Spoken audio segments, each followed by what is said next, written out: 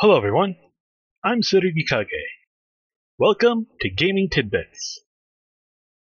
Dead Island for Xbox 360 and PS3, you can actually find Jason Voorhees.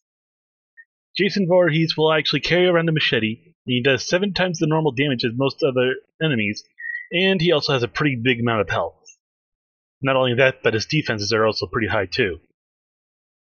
Even if he's dead, his eyes will follow you around wherever you go. Inside his house, you can actually find a chainsaw and use that as a usable weapon. Well, that does it all for now. This is Tsurugi Kage, signing out.